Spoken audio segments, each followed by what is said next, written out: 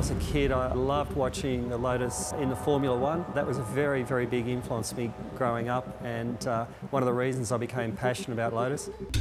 I've got the track car, which Lee and the team are working on at the moment, and one or two other older collectibles. So it's very much part of my life. We're probably one of the biggest dedicated Lotus facilities in the world. We like to think we're a little bit different. Um, I'm an automotive engineer, studied for, for many years. We're involved in the racing community, so we run a car in the Australian GT Championship. We've got uh, three or four mechatronic engineers here. So yeah, very much so. We're focused on the engineering and we would sell a car based on knowledge and passion for the car. And as a customer, that, that gives me a lot of comfort because I know that when Lee and the team are working on my track car, they're also bringing back that experience from the race cars and understand engineering at a very deep level. Lotus brand's been synonymous with racing in the 70s and 80s, one of the most successful marques ever. There's a lot of innovations through the years where Colin Chapman was always challenging the rule book, what was regarded as the norm. Lotus have you know, they're fairly unique in that they really stick to their values. Their engineering comes first. They do what they do well and they stick to it. Performance through lightweight. That's what it's about. And that's a fantastic thing that's carried right through from the beginning of Lotus to now in the current models. This is a new V6 Exige Roadster. It's um, a derivative of the Coupe, which came out last year. It's a little bit more refined. Still got the same engine, still got the same chassis, still got the same ride and handling, but just a little bit more livable. If we take a look at the supercharged 3.5 litre V6 engine, you notice the supercharger on top here by Harrop, a Melbourne-based company. This is a transversely mounted V6 engine. The supercharger's here.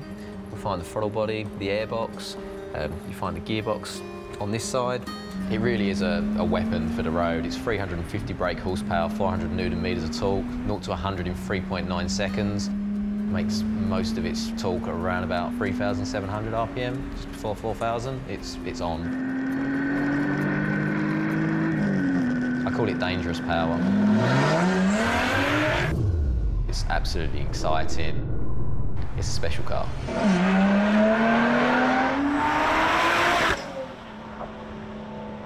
So here we have the lightweight forged aluminium wheels, the AP Racing four-pot calipers all round, front and rear, and 332 millimetre discs. Um, very much focused on high-level braking performance uh, with a 60-40 weight split. Um, it's great car on the brakes.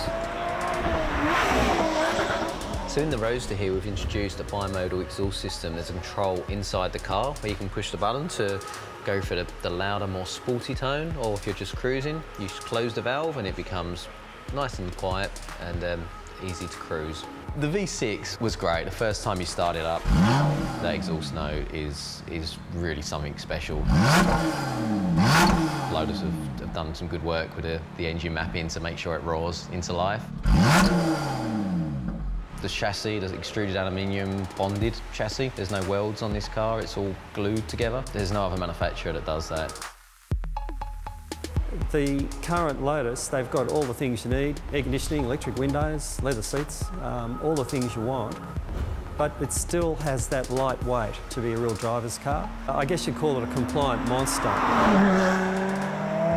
Lotus have implemented some driver aids into this car, which historically Lotus owners are pretty much against. But the driver aids in the new V6 Exige have just blown us away. We couldn't believe how good it was. Where Lotus have made it a little bit heavier, far outweighed the compensation by adding a lot more power, a lot more braking performance. It's a joy to drive. You could drive it out of showroom today and be at a track tomorrow. The Exige S and the Elise S in particular, these cars are ready to go. We often have customers at the track within their first thousand Ks.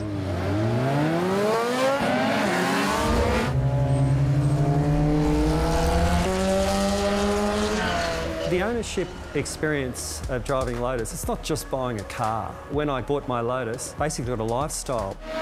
There's track days, there's a driving academy, there's social events, and the ability to go and talk to like-minded enthusiasts who are serious about driving.